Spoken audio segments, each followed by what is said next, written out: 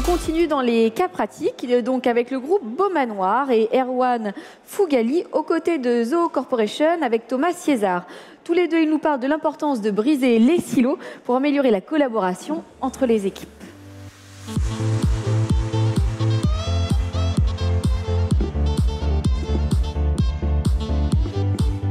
Bonjour à tous et euh, bonjour, euh, merci euh, Erwan d'être présent avec nous aujourd'hui. Bonjour à tous. Donc déjà, moi je vais commencer sur un constat simple. Aujourd'hui, on est, il y a énormément de solutions qui sont présentes sur, sur cet événement-là. En moyenne, une entreprise aujourd'hui utilise 254 applications. Erwan, le groupe Beaumanoir, vous êtes un grand groupe. Est-ce que tu sais combien d'applications à peu près vous avez? Oh, Facilement plus de 500 plus de 500, hein, donc euh, énorme, très compliqué à, gérer. Il y a aussi une autre euh, complexité, c'est aujourd'hui chaque département de l'entreprise va utiliser différentes, applications, vont travailler en silo, il va y avoir de la saisie qui va de données qui va être, euh, qui va être prise un certain nombre de fois. donc tout le, monde, tout le monde travaille en silo. Le groupe Boa Noir, vous avez justement réussi à passer, à briser ces silos. Euh, les applications entre elles aujourd'hui, elles travaillent très, très peu, il y a très peu d'intégration. Donc on se retrouve souvent avec euh, ce que nous on appelle communément l'architecture euh, SaaS Spaghetti as a Service. donc ça, on crée des, usines à gaz. Pas toujours digeste. Pas toujours digeste, un peu compliqué. et du coup, le groupe Noir, comment vous avez fait un petit peu pour, pour combattre cette, ce Spaghetti as a Service? Déjà, tu peux peut-être nous représenter le groupe. Oui, le groupe Beaumanoir. Alors, euh, peut-être que le groupe Beaumanoir, Beaumanoir pardon, ça ne vous dit pas grand-chose. Par contre, les marques, euh, vous devez sans doute les connaître, surtout mesdames euh, et mesdemoiselles. avec les marques Cache-Cache, Bréal, Bonobo, qui est mixte. Vibes, ça c'est une enseigne qui regroupe les différentes marques. Morgan, Carole, qu'on a racheté, Sarenza.com et La Halle. Alors, au milieu de. Euh, alors, le groupe Manor, c'est un groupe malouin, très fier de ses origines, euh, qui a été créé euh, en 81. Et en fait, on est, assez gros parce qu'on a plus de 2400 points de vente à travers, l'Europe. et on a fait 2 milliards de chiffres d'affaires. Et au milieu de cet océan de, de retail, de magasins qui nous appartiennent en propre ou qui sont des affiliés, euh, il y a un petit village de, euh, de bretons presque, qui, euh, qui est le B2B. donc, et, et, toi, tu, du coup, tu gères la partie, la partie B2B du groupe Beaumanoir. Est-ce que tu peux nous en parler un petit peu plus? Parce que c'est quand même quelque chose de, qui n'est pas forcément instinctif quand on parle de groupe retail. Toi, tu vends au, au B2B. Exactement. Moi, j'adresse, euh, je suis en charge du système d'information pour cette partie B2B, qui, même si elle est petite, euh, représente quand même 80 millions de chiffres d'affaires. Euh, et donc, au milieu de cet océan d'outils dédiés pour le retail, de RP pour le retail, de solutions marketing pour le retail, bah, il y a quand même tout ça un écosystème pour le B2B à mettre en œuvre. Et cet écosystème, il a fallu le moderniser. Alors, euh, au côté back-office, on, a ne va pas remettre en cause tout le système euh, groupe pour, euh, juste la partie B2B. Alors, je vais juste faire un petit, zoom arrière. Dans le B2B, nous, on intègre tout ce qui est le multimarque. C'est-à-dire quand vous allez dans des, enseignes qui, qui vendent plusieurs marques, ça, c'est des clients à nous. les marketplaces, Zalendo, La Redoute, etc. Euh, des, les corners dans les euh, Galeries Lafayette, euh, les Inno en Belgique, le Quartier Inglés. Voilà, peut-être que je vois certains sourires dans la salle, il y en a pour qui ça parle, en termes de complexité de, communication avec eux parfois. et donc on avait un système d'information bah, qui, qui, est déjà existant, qui est peu flexible, parce qu'on ne va pas on ne va pas remettre en cause euh, en un claquement de doigts euh, quelque chose qui fait tourner 2400 euh, magasins. Hein. et, de l'autre côté, on avait un système avec un outil qui a déjà été sélectionné, un outil super, très marketing.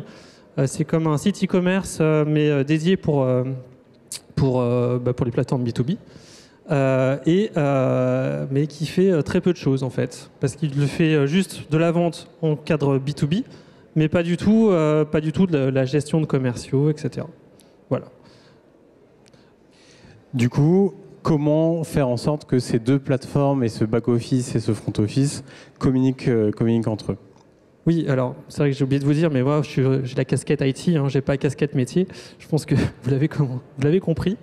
Euh, et donc euh, on a on a un peu une une problématique impossible à gérer avec euh, des outils qu'on nous impose et dans un environnement qui est aussi imposé. Et pourtant, il faut réussir à tout moderniser, à ce que ça soit euh, très flexible, très fluide, euh, pour bien répondre aux, besoins de nos clients. Donc, euh, on a essayé de prendre un peu de champ et de se dire, bah, et si on rajoutait une brique supplémentaire à ce spaghetti, mais qu'on lui faisait tout porter? Et c'est là qu'on s'est dit que, ben, en fait, il y a des briques dans le B2B, même si on est dans un environnement retail, qui, permettent, euh, qui permettaient de répondre. Et donc, c'était de choisir un CRM qu'on allait positionner, vous allez voir après, un, un faux schéma d'architecture, d'accord N'ayez pas peur, restez là. Euh, et, euh, et donc, on a choisi un CRM. Et dans ce CRM, on, Et pour, pour choisir le CRM, quels étaient les éléments clés que vous avez recherchés? Alors, c'était un CRM, il faut. alors, on est une boîte de, de mode, on n'est pas des développeurs. Euh, donc, il faut quelque chose qui soit facilement paramétrable. Et quand vous avez besoin de rajouter un champ, une règle de gestion, que ça ne vous coûte pas euh, 10 000 euros à chaque demande. Quoi. Hein. Aussi, il y en a qui doivent connaître. Euh, un CRM qui soit nativement communicant, euh, mais communicant pas juste machine-machine, API, des API, ce genre de choses, ou euh, des échanges de fichiers, mais qui puisse aussi communiquer avec des utilisateurs humains en envoyant un email avec les informations qui sont attendues par rapport aux utilisateurs, même en interne. Euh, un CRM qui permette de, supporter les règles métiers qui sont parfois complexes, parce que euh, chez nous, le B2B, euh, il y a plein de BU différentes qui, qui s'adressent à des marchés spécifiques et qui ont donc leur propre, temps pour mettre les produits en ligne, etc. Et on l'a vu au début, les métiers aujourd'hui travaillent plutôt en silo. Du coup, comment faire en sorte que cette donnée soit, transférée sur le CRM C'était c'était un, peu- un peu votre problématique. Oui, voilà, exactement. C'était, euh, bah, là, c'est. euh, euh, oui, C'est parti. du coup, vous avez choisi euh, On a choisi. Je te laisse présenter Zoho du coup. Donc Zoho, la, force de Zoho, c'est qu'on n'est pas uniquement euh, une plateforme CRM, on est bien plus que ça, on a une suite d'applications qui sont intégrées de manière native les unes avec les autres. Donc justement, on, a déjà euh, euh, cet enjeu de l'architecture spaghetti, comment, la, combattre, en ayant en fait une suite d'applications qui sont déjà nat- nativement intégrées les unes avec les autres. Et en plus, on va au-delà parce qu'on a des intégrations avec euh, via des API, euh, avec les outils métiers que vous utilisez déjà. Par exemple, je sais que euh, Groupe Monard vous utilisez SAP. Comment faire pour que les informations de SAP puissent être transmises sur le CRM et inversement? Donc tout ça, vraiment, ça, ça vous permet d'unifier toutes vos équipes. Vous gardez les, les applications que vous avez l'habitude d'utiliser. Tout se connecte euh, de manière, de manière native avec soit la marketplace, soit, euh, soit avec euh, des API, avec une super documentation. Hein, tu en es témoin. Euh, Est-ce qu'on peut revenir du coup sur le projet euh, du groupe Beaumanoir et comment vous avez mis ce, CRM en tant que middleware de, euh, de l'entreprise? Attention, c'est là où il y a le schéma qui va arriver. Je te passe euh, la télécommande. Allez, Alors restez avec nous. un peu de concret. en fait, c'est très simple. Sur la gauche, le RP. Le RP retail. Euh, donc complètement, euh, enfin, on n'a pas le droit d'y toucher. D'accord? Sur la droite, la plateforme qui était absolument voulue par le marketing. D'accord? Et qui, qui ne communique que par fichier plat. Enfin, voilà, un truc euh, assez rigide. Et entre les deux, alors, en haut, euh, bah, un ERP financier. En bas, vous voyez euh, le référentiel produit aussi, le PIM, ou euh, voilà. Ça, c'est des choses qui vous parlent, je pense. Euh. Et donc, l'idée, c'est aussi de se dire comment est-ce que on, va pouvoir réutiliser ce qui est déjà existant dans l'entreprise, c'est-à-dire bah, les notions financières, les notions d'information produit, la classification des produits, pour le B2B. Que mes utilisateurs n'aient pas besoin de ressaisir des informations à chaque fois qu'ils ouvrent une marketplace. Alors, on a quelques cas concrets. Par exemple, euh, l'enrichissement automatique euh, des, euh, des données.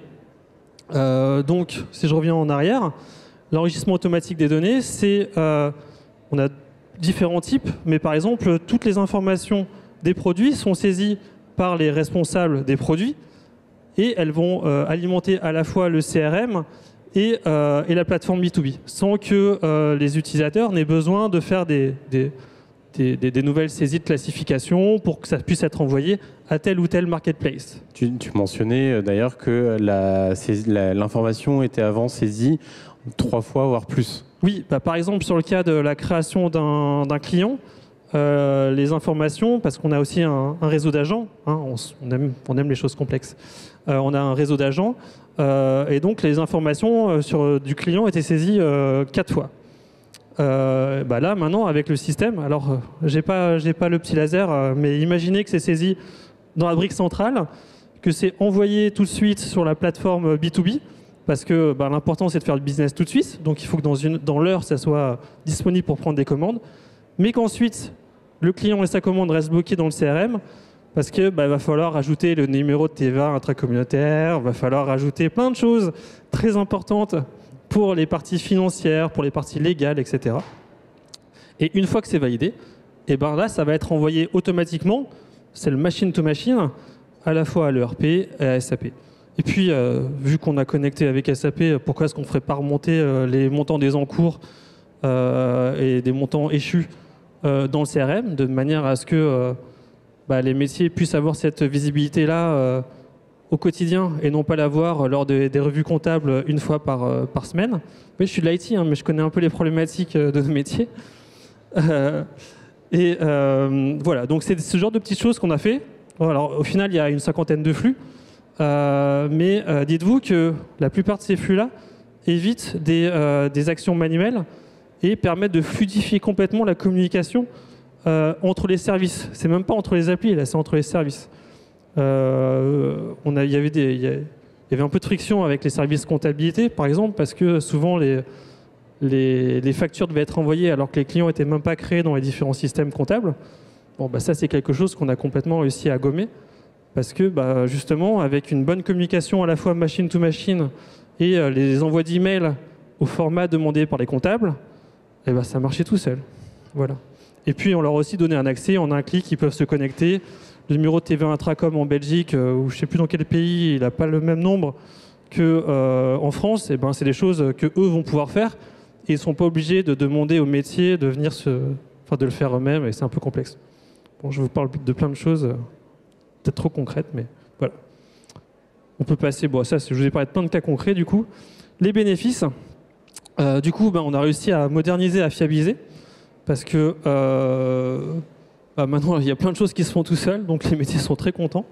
Euh, L'intégration, elle est, complète sur les informations, euh, sur les informations euh, qui sont en lien avec le B2B. Alors, on, rajoute des choses au fur et à mesure, je vais en parler après. Et puis, on a un meilleur service au client. Parce que maintenant, quand ils passent une commande, on peut leur générer automatiquement un fichier avec toutes les informations produits qui leur est poussé par email. Enfin, un lien, hein, parce qu'on ne va pas surcharger leur boîte email. Et puis, donc, du coup, nos clients ont beaucoup plus d'informations et sont beaucoup plus. Euh, enfin, ils ont beaucoup plus d'informations sans que ça nécessite des actions manuelles de nos métiers. C'est des choses aussi qui, qui doit vous parler, je pense. Ça vous permet d'avoir une meilleure, une meilleure intégration entre vos clients, vos différentes équipes qui vont être en relation client, la finance, euh, le commercial, etc. Exactement, exactement. Et du coup, bah, les utilisateurs sont beaucoup plus satisfaits. Je vais juste très, rapidement parler euh, du, projet en lui-même. Euh, C'est un projet qui a été mené, au niveau de sa phase de développement pur en six mois on a eu euh, le Covid entre la phase de choix de l'éditeur où on a tout stoppé et puis la phase de dire bon on reprend mais ça a été extrêmement rapide.